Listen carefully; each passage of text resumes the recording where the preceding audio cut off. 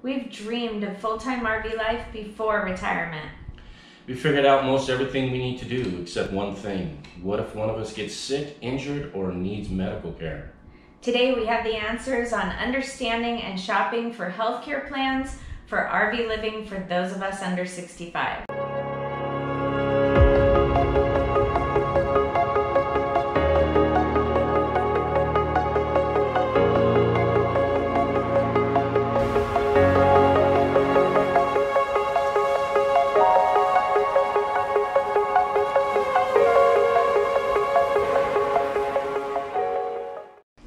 Everyone, we are still recovering from COVID, still in quarantine, feeling much better, um, but still some lingering things. So we've still stayed in quarantine. We don't really want to be around anyone. So welcome to our house again.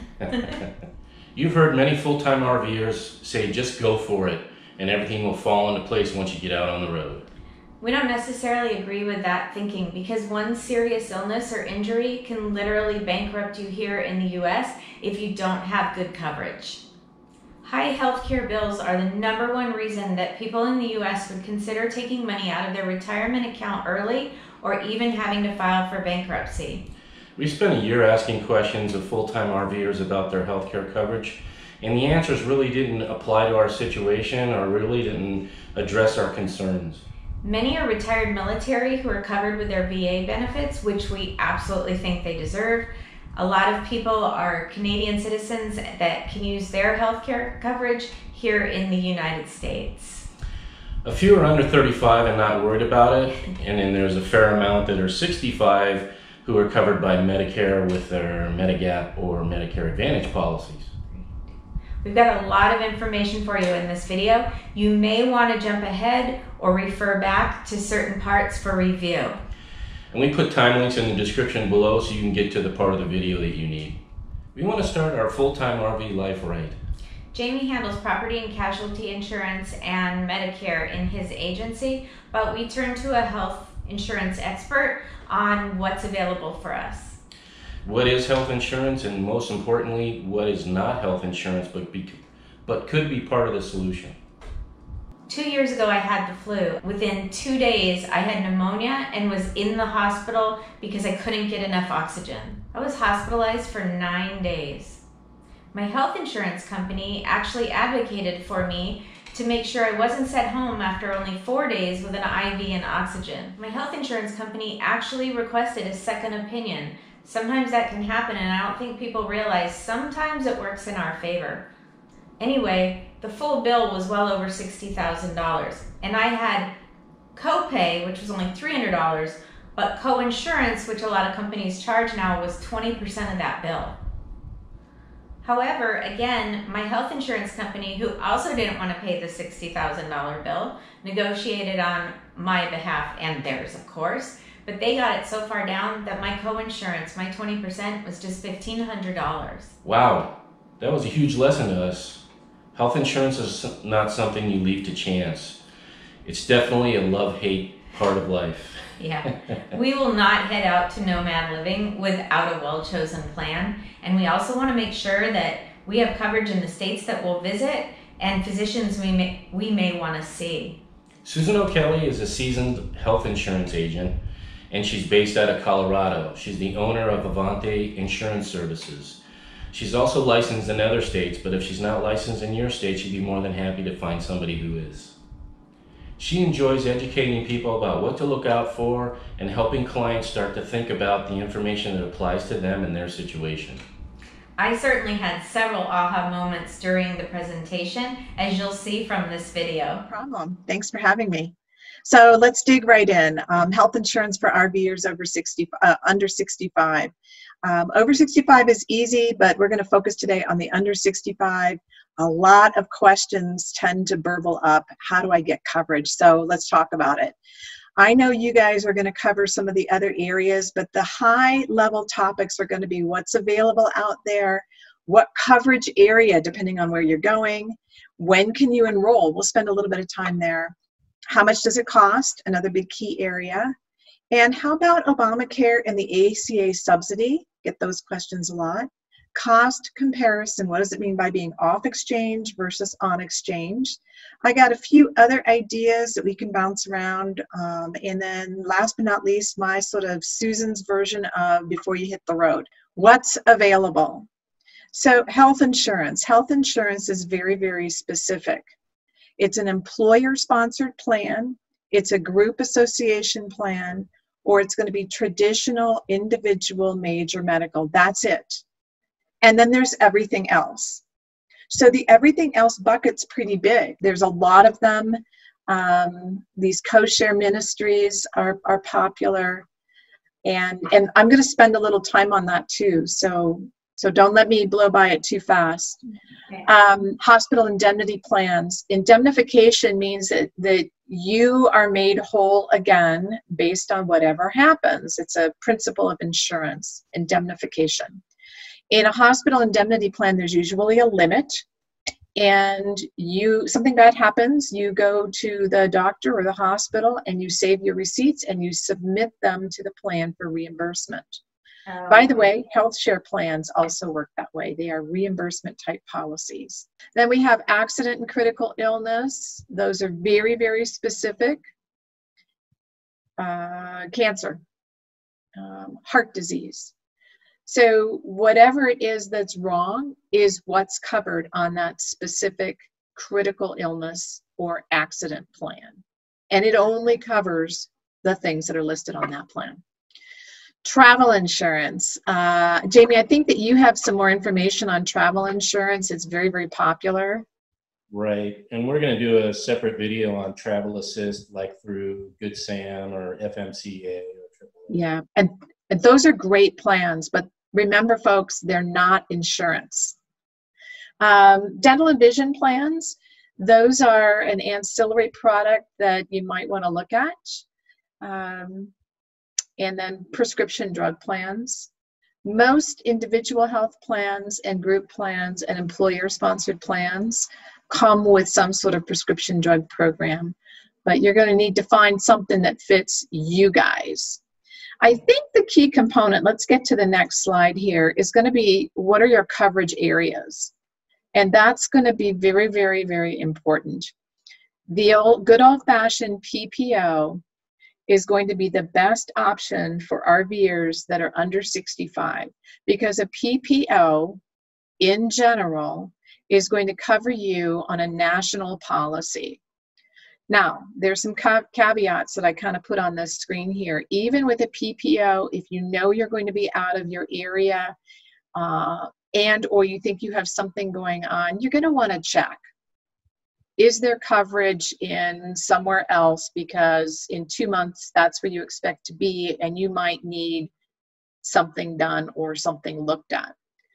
Now, the most important thing to remember about a PPO and signing up on an individual health plan that has a PPO is where is your quote unquote home state? And I know that um, South Dakota is very, very popular for being a home state. Um, so is Florida. Now, South Dakota has really favorable circumstances for your RV registration but Florida is more favorable for you for health insurance options. So when it comes time for you guys to hit the road, you're going to need to look at that as well.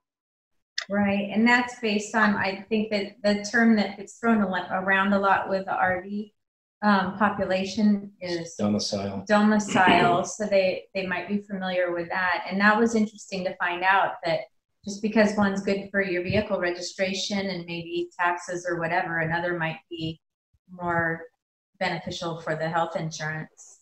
Yeah, the, the three that I hear, you touched on two. You touched on South Dakota and you also touched on um, Florida. Florida. Texas is another one. Uh, ah. People are doing that as well.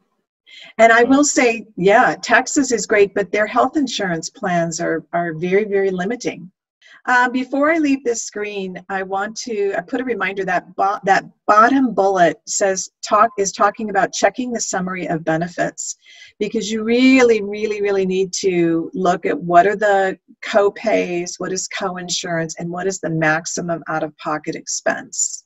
Look into that. When you guys get ready to really dig in, pay attention to the summary of benefits. Every plan has one by law. They have to have a summary of benefits.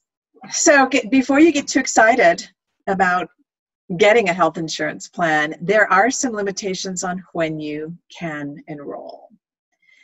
So, if you're currently on a health insurance plan with an employer and you decide you're going to hit the road next month, great. You have what we know is a special enrollment period, an SEP.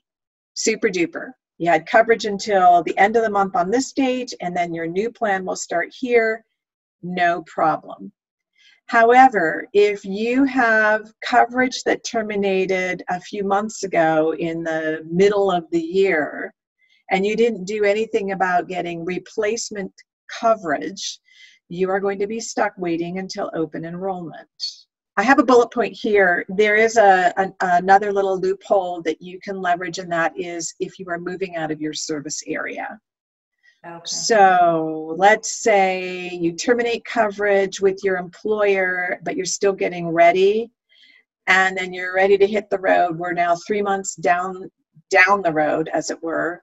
That would really dovetail into where you have your state of domicile, because on the the one hand, you might have an SEP you can leverage because you're moving out of your service area and I think um, another tip I heard from some other full time RVers was they went ahead and activated the COBRA plan under their employer and then hit the road and then decided, you know, chose their domicile and then looked for insurance. Now, if you have a COBRA plan, how does that affect your, at what point you could um, enroll? That is a really good question, and it is going to depend upon your employer. So, backing up a step, uh, in 15 years ago, 10 years ago even, COBRA plans were very, very expensive. If you left your employer and you took COBRA, it was, it was yeah. you you almost felt like you should go without insurance it's not that way anymore so when i talk to people like you guys and you have an opportunity to take cobra take cobra it's mm-hmm. great. You're still getting to enjoy the benefit of your employer plan, which usually has a lower copay and a lower coinsurance and a comparable rate as to what you would pay on the open market. So always take Cobra and then look at those triggers and determine when are you going to terminate cobra and pick up your domicile state because then that is absolutely a qualifier for moving out of state and having a valid sep and i guess then keeping in mind though if i did take the cobra and i left and then like you're saying we didn't do anything for a couple of months but then we hit the road now that cobra plan is really identical to my previous plan so i might not be able to get regular health care outside of my state, right? The state I was in. It depends on the plan. If your employer plan is a PPO that has national coverage and I'm coaching you to do your homework, you'll have done your homework to determine does your COBRA plan have a PPO option that you can elect to, to, to be part of and have coverage anywhere? Is it a PPO plan? So, how much does it cost? And I always say it depends, and it really does. One of the things you want to look at is thinking about the cost of premium as it relates to your budget. If you spend little money on your premium, you're going to have a lot of out of pocket when bad things happen. But if you want to spend more on your premium, when you wind up sick, there's very little that you have to spend out of pocket.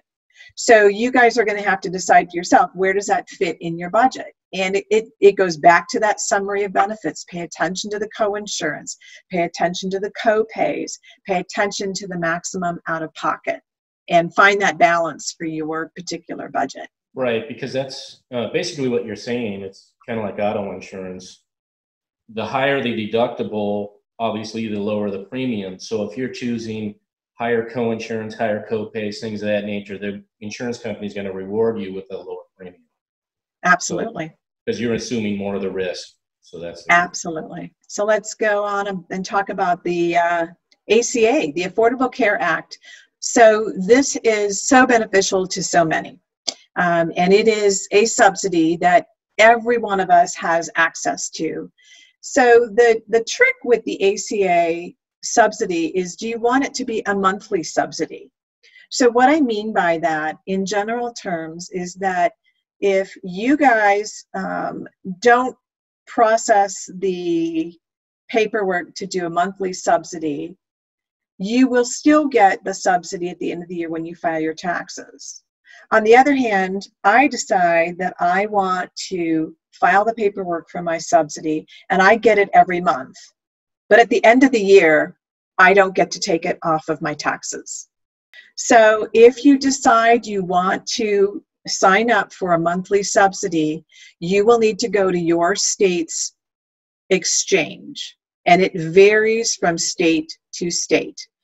Some states actually loop back and participate in the federal exchange. And you'll know that if you go to your, if you're in the state of Arizona, for example, you this the state of Arizona goes to the federal exchange. In the state of Colorado, the state of Colorado has its own individual exchange.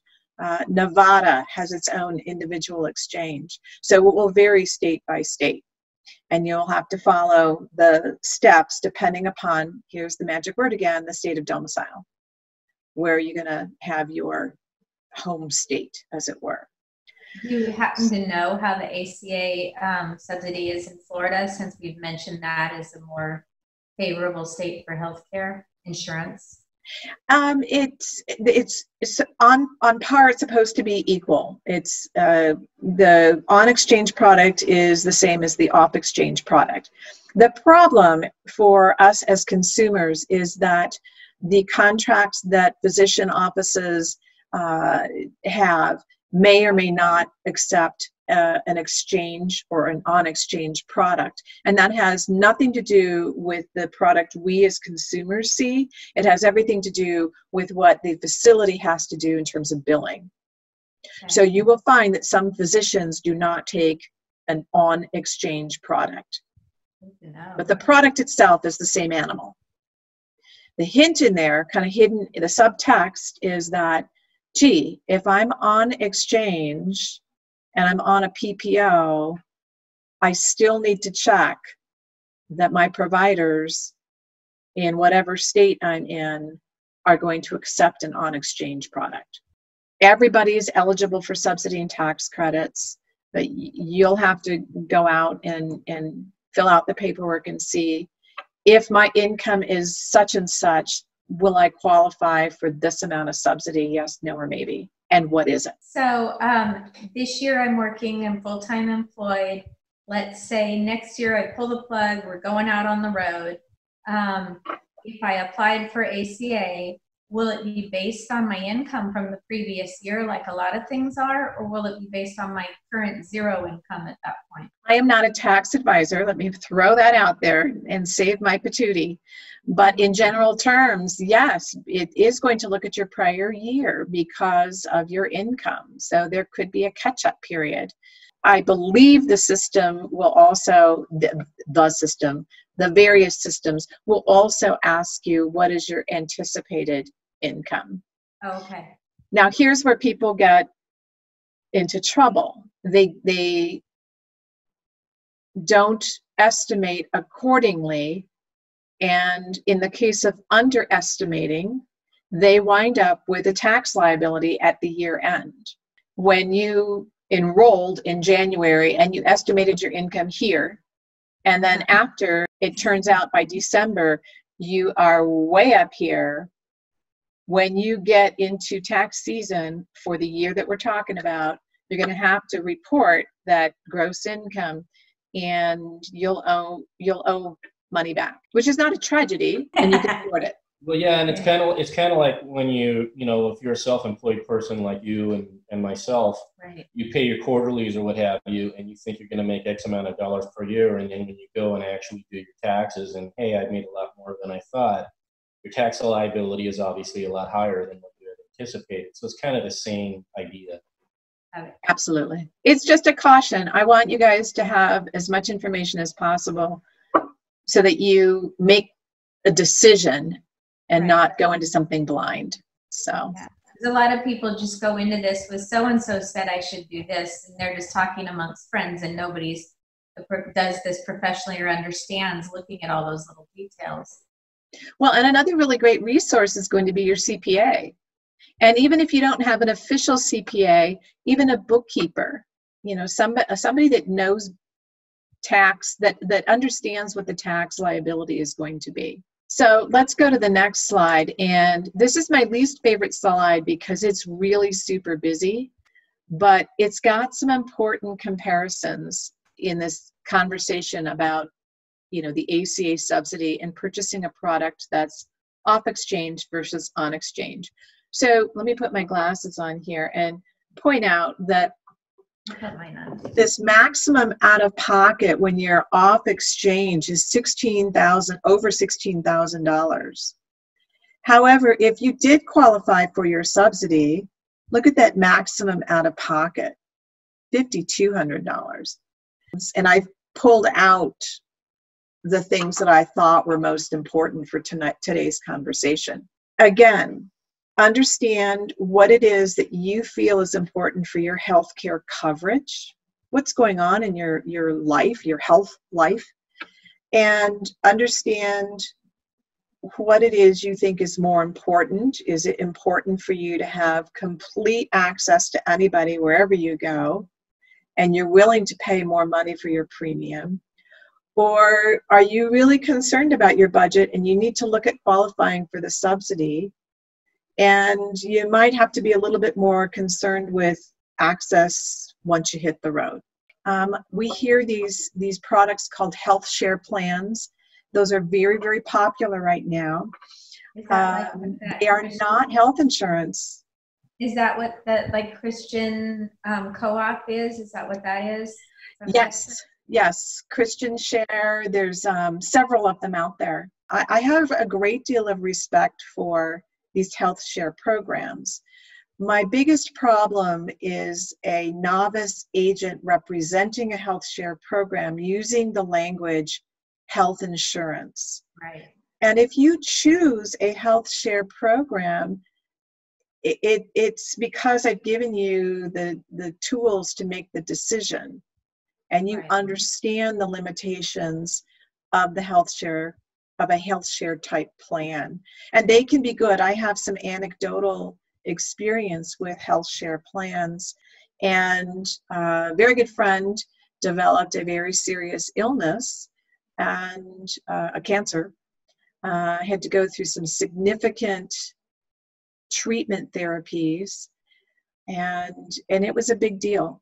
Fortunately for them they had cash flow and they were able to pay for the services up front and then submit the receipts and then later on receive reimbursement for it. As an example one infusion was $10000 so again fortunately they were in a position to have cash flow and when she had an infusion every week for 16 weeks they were able to pay for the infusion and be submitting these receipts and, and get reimbursement. Um, and and i have great admiration for for these types of plans but understand that it's health sharing and you can be denied. Another thing with uh, health share plans and also with accident plans and with critical illness plans you can be denied coverage.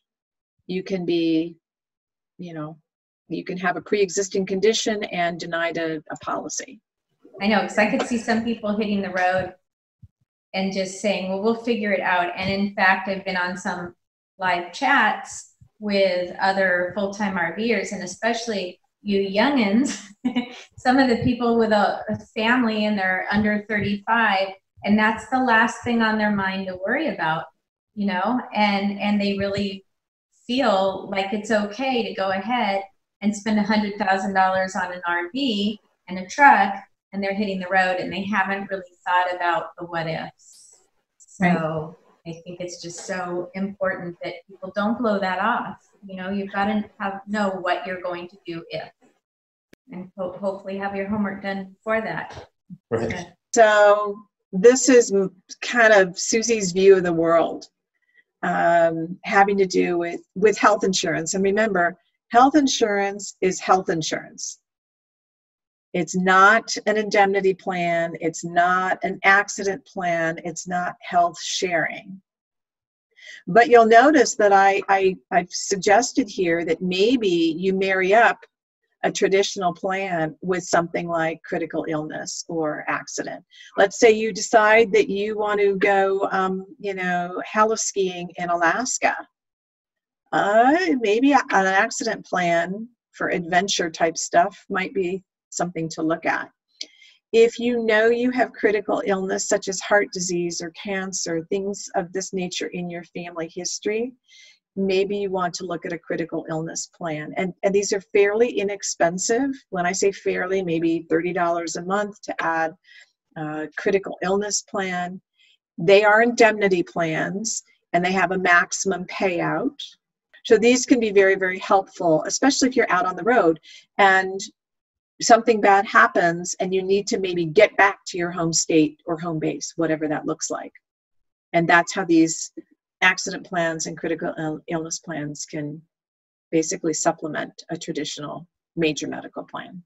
and help Uh-huh. you get back to your home state, which again, I want to mention for our viewers that you may have chosen that home state because of taxes or whatever, but in some cases, you might have to see yourself taking your RV back there and finding some place to park it and stay there for a while, right? If you're really sick. Yeah, that's right. I don't, I don't hear enough people being concerned about that. and especially if you don't have a home base. Um, and there's a lot of YouTube uh, channels that we watch that are now saying, "Hey, we want a home base," it, and the COVID is what kind of prompted that to happen Right. because they weren't able to get camp- campsites anywhere. They weren't ill or anything, but they weren't able to get campsites anywhere. You know, Because the RV park's closed. Right. So that brings up an, a, you know, hey, what what happens in an emergency? So that's why, you know, some of these YouTube channels are deciding, hey, I need to have a home base should something happen, where I can go and have a place to park my RV and or live. just in general full-time RVers. I think Right. we're, we're seeing an example of that on YouTube, but full-time RVers are finding out, well, wait, my kids all still live in the state I came from. I made my domicile in South Dakota and now I'm really sick and my insurance wants me to go back there for treatment and it's coming up on February and I didn't plan to stay in my RV in South Dakota. So those are things that our viewers really need to keep in mind realities that can happen. You really, really do need to look at that state of domicile, and I urge you to look at PPOs with national coverage. Yeah. Uh, emergency coverage for most plans is is is already in there, but emergency is you know stop the bleeding and then send you home or send you somewhere. Right. and and that you it's really really important. For you guys that are that are full-time RVers you're finding really really creative ways to to have cash flow and in reinventing yourselves and offering services like you know you and, and Jamie. And that meant or means for for you and Jamie that you're going to give up a traditional job take a look at what this new job that you're taking on looks like and investigate whether what you're doing is something that, that would mean you are part of a professional organization.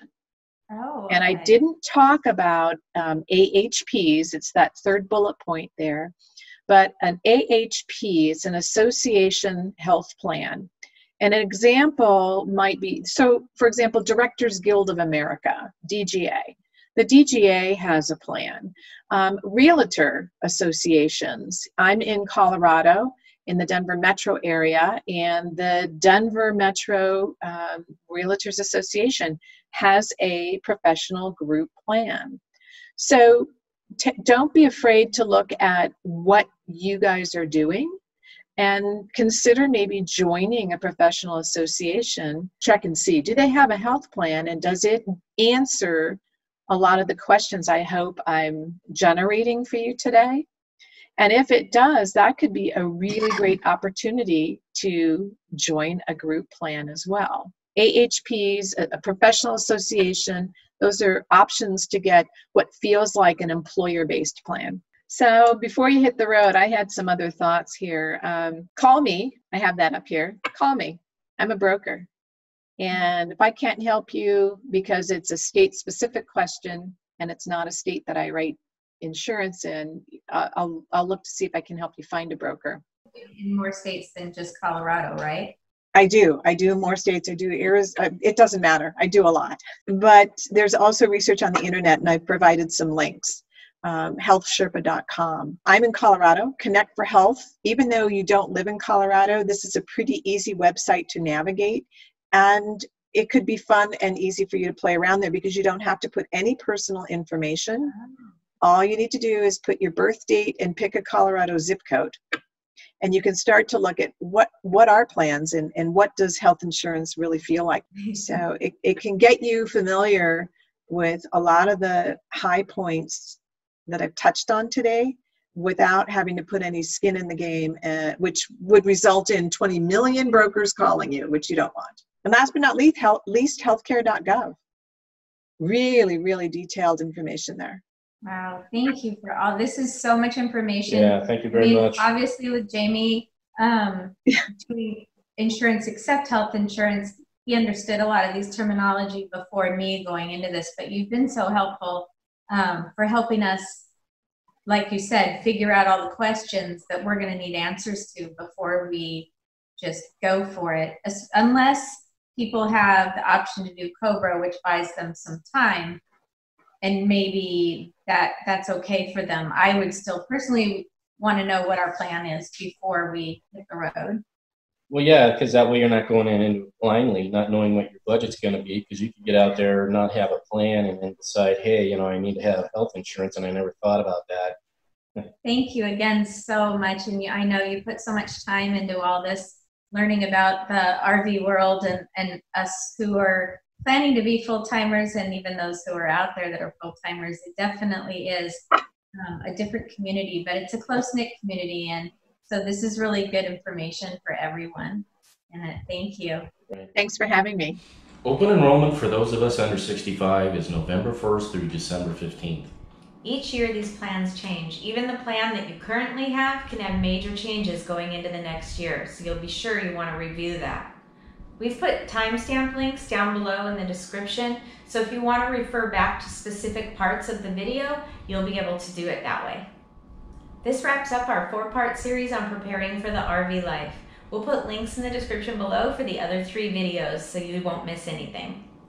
Be sure to subscribe for all the information you need for RV living. And ring the bell so you won't miss out on any of the valuable tips, tricks, and travel ideas each time we upload a new video. See you next time. Bye. Okay, roamers, let's wrap it up.